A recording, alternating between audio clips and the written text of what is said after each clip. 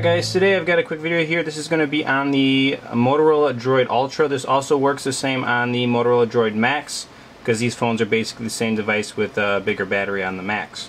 And what we're going to talk about today, because this is a new device to me, I'm going to start from the beginning, is basically how to get into bootloader mode and enter stock Android recovery to do a factory reset or fix a boot loop or something like that. This is what we're going to go over. So let me just show you very quickly here um, just so everybody's on the same page I like to show this off is right here Motorola Droid Ultra is the model number. This is on Android 4.4 but you can get into bootloader mode the same way on any Android version. Really does not make any difference at all. So to do a factory reset you normally can do it in settings if the phone boots but if it doesn't basically what you're going to want to do is get the phone basically powered off.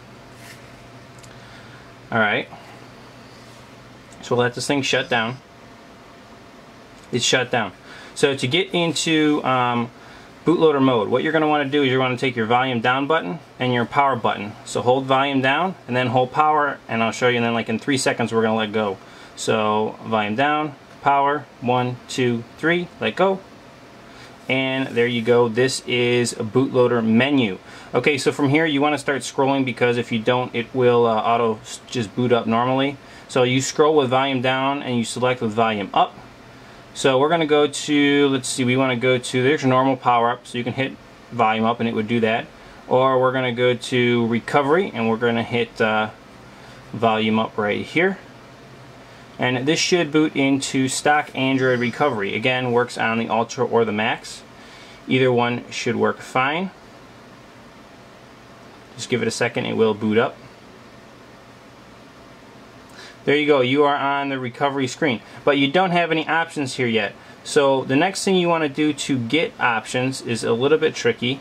So what you want to do is um, you want to turn the phone around again and just try holding uh, some different buttons here. Let's see. So try volume up and power and just kind of tap them a couple times or hold them for a second maybe.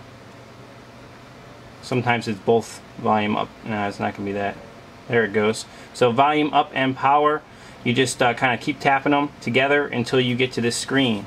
Alright, so now we're into stock Android recovery and we can do our factory reset, we can wipe cache partition and try to get our device booting again if we were stuck in some kind of a boot loop when you're just seeing Motorola logo and boot animation constantly rolling and repeating. Alright, so from here, I'm going to go ahead and do it. So we're going to go down to, uh, we'll do cache first. So this is wipe cache partition. You scroll with your volume buttons and you select with power and that's going to really quick wipe cache partition and actually already reboots the device for you.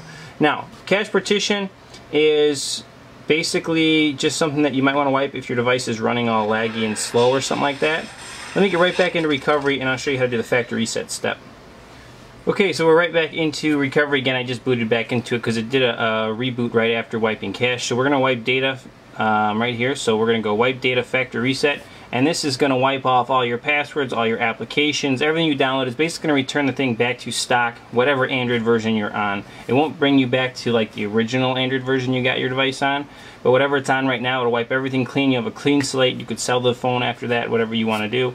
Um, so we're going to go ahead and select that with power. And we're going to go down here and says yes, delete all user data and select that one and this is going to take just a little bit longer but I think it's going to do the exact same thing. As soon as it's done oh see it did this one doesn't actually reboot you which is interesting but the wipe cache partition does. And if you're going to do a full wipe I would also wipe cache partition now.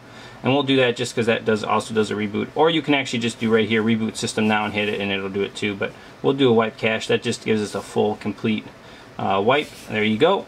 And that's going to be it guys. As soon as this thing boots back up it's going to be 100% factory reset. If you don't have a sim in it, it's probably going to bring up the activation screen. I mean, that's how far this thing resets it. It brings it totally back, like new out of the box, basically. Um, except for just stays on whatever ever Android version you are on. There you go. That is how to get into bootloader mode, stock Android recovery, factory reset your device. Hope you guys like this video. Stay tuned for more on the Motorola Droid Ultra. I'm going to be doing a bunch of videos on this thing soon, and we'll catch you in the next one. RootJunky out. Okay, okay, let's wait for it to boot. Quick note, uh, booting does take a lot longer after a factory reset. Normally this thing boots in like, what, 30 seconds or so.